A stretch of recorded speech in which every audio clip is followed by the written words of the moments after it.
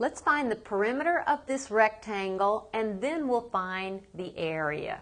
First, let's concentrate on perimeter and remember that perimeter means distance around. Since this is a rectangle, this length is the same as this length, so this is one foot also. And this width is the same as this width, so this is two thirds of a foot also.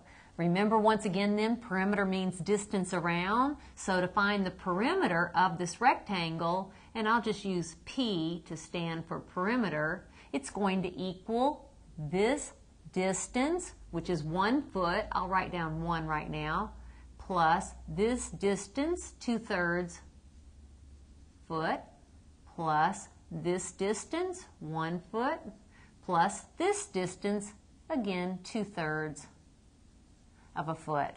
All right, let's see what we have.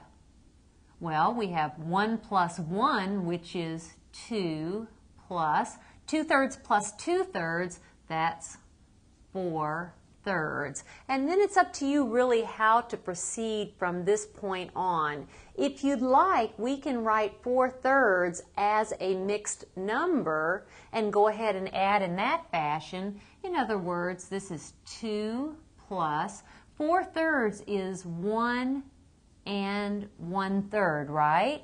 So 2 feet plus 1 and a third is feet is 2 plus 1, that's 3 and a third.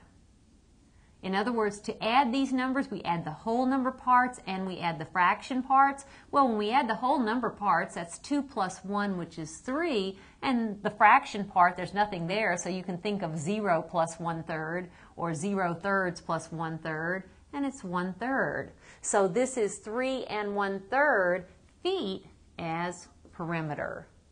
Now let's find the area. Area, remembers the amount of space enclosed by a figure. And for area, we find the area of a rectangle by length times width. So length being 1, I'll go ahead and write down foot this time. Width being 2 thirds foot. So what is the product of 1 times 2 thirds? 1 times 2 thirds is 2 thirds, and then feet times feet, that's square feet. What is the area of this rectangle? 2 thirds square feet.